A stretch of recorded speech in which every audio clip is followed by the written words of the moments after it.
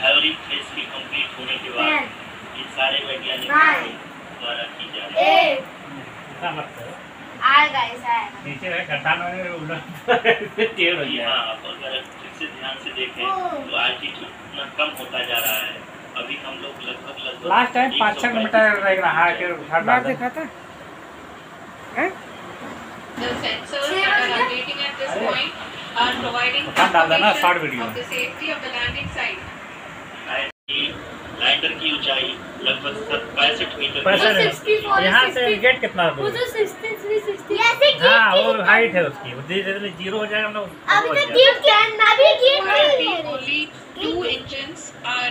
तो कितना होगा बड़े वाले? And we are nearly at so hello friends welcome back to my channel कैसे हैं आप सब? आशा करती हूँ कुशल, मंगल, स्वस्थ और मस्त होंगे। तो यहाँ पे देखिए मैं हल्दी वाला दूध भी पक रहा है। यहाँ पे मेरा चाय भी बन रहा है और बज रहे हैं पौने आठ। तो आज लेट हो गया है और यहाँ पे मैं नेनुआ की सब्ज़ी बना रही हूँ आलू डालकर। आलू डाल के तो अच्छा नहीं लगता है, लेकिन मुझे डालना पड़ा बच्चों के लिए। बच्चे भी खा लेते, लेकिन थोड़ा कम ही लग रहा था। एक गल के बहुत कम हो जाता है तो इसलिए। ये बना रही हूँ। अब यहाँ पे मैंने आटा लिया थोड़ा ही।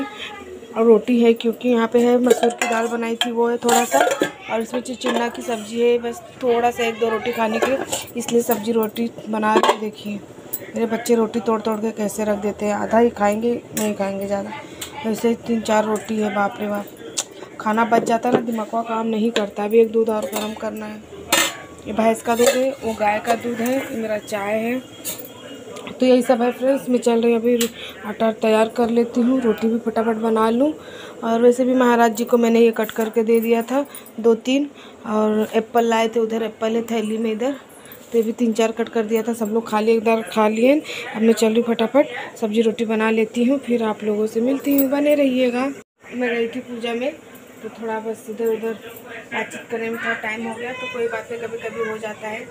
और आवाज़ कम आ रही थी, मैं तो ही बोल रही हूँ। अब ये ब्लाउज पहनी मुझे कुछ खुजलाहट जैसा हो रहा है। तब चलिए फटाफट खाना बना के सब चेंज कर लेती हूँ, कपड़े वगैरह सब फैला हुआ है। अरे इधर देख सकते हैं, इधर बच्चे लोग आते हैं तो कपड़ा यहाँ पे डाल देते थोड़ा हवा लगे। नहीं तो ऐसे ही उठा के ना अंदर रख देते थे, कपाट पे पसीना पसीना पूरा एकदम खराब सा रहता था। अभी थोड़ा इधर रख देते हैं तो ठीक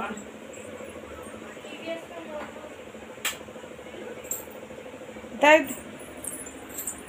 कोई आया है? बेटा कितना गंदगी है? हुए नहीं हो? दे जल्दी। चलो। तो उसका कोई फ्रेंड आया बुक के लिए वो बुक दे रहा है शशांक।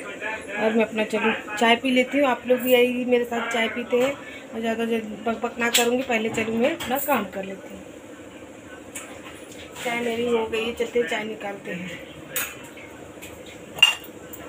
करो न करो, कष्ट हरो, ज्ञान दो भगवान। भ्रम पसीना मेरी, तार दो भगवान। तो फ्रेंड्स चलते हैं, देखिए, मैं चाय निकाल लेती हूँ।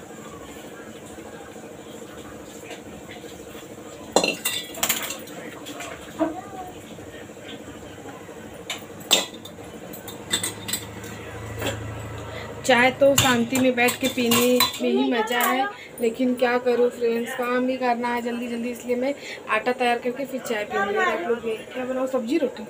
कौन सब्ज़ी। नेनुआ लोग खुश इन लोग खुश है अच्छा लगता है उसे। तो चलिए फ्रेंड्स आप लोग बने रहना मैं जल्दी जल्दी रेडी कर लेती हूँ।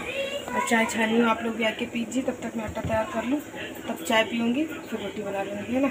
दूध ये वाला भी रख दिया मैंने यहाँ पर गर्म होने के लिए। ये दूध लगभग पक गया है मैं थोड़ा पका दूँ, तब बंद करूँ, और ये तब भी थोड़ा टाइम लगेगा जब तक हो जाएगा सो फ्रेंड्स मेरी रोटी भी बन गई है, ये लास्ट रोटी है, अब यही बन जाए। थोड़ी बड़ी और मैंने थोड़ा मोटा बना दिया है, और सब खा रहे हैं, अब मैं भी चल रही हूँ। दूध दे दूँ शशांक को थोड़ा। दूध रोटी खा लेगा सब्ज़ी इतनी बची है तो मैं प्लेट में निकाली, मैं कढ़ाई यहाँ पे खाली कर दी चलो भिगा देती हूँ, पहले बेलन चौका धो लेती हूँ बाबा, नहीं तो उसमें जूठा मीठा हो जाएगा। तो आप लोग भी आइए हमारे घर डिनर करने के लिए। बंद कर देती हूँ गैस, ऐसे नहीं उतारते हैं ना, रोटी रख के ही उतारते हैं। तो चलिए अभी मैं भी खा लेती हूँ, आप लोग भी खा लीजिए पहले चलो हाथ धो लूँ चकला बेलन धो लेती हूँ, फिर।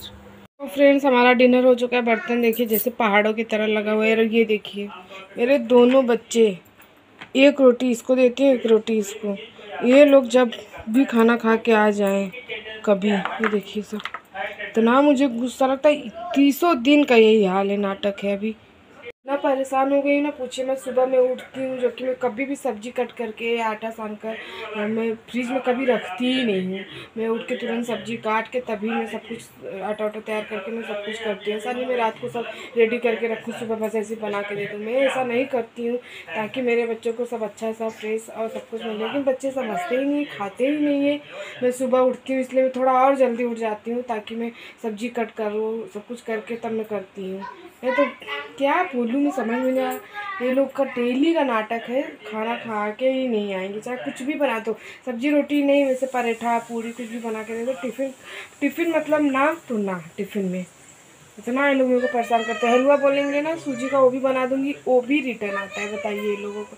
टिफ़िन मतलब ना, इन लोगों का ऐसा हो गया है। मैं एकदम परेशान हो गए, देखिए। क्या बोलूँ, इतना दिमाग ख़राब हो रहा है ना कि मैं क्या ही बताऊँ। तो फ्रेंड्स, सभी मैं चल रही हूँ, सब अब फेंकने में जाएगा। कितना बुरा लगता है। परेशान हो हूँ। चलिए, सब बर्तन इतने सारे हो गए हैं।